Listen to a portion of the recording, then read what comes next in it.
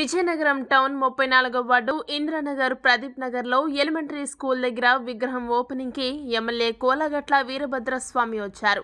ఆయనకి ఘనంగా స్వాగతం పలికారు.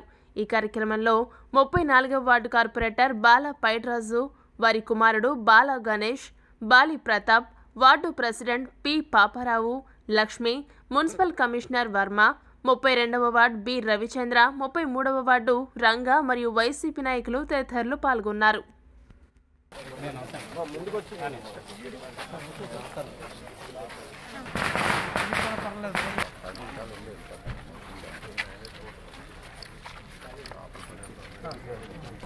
ఇన్ఫెక్షన్ లాగా అనిపిస్తుంది. ఒక ఇస్తారు కట్ చేసి.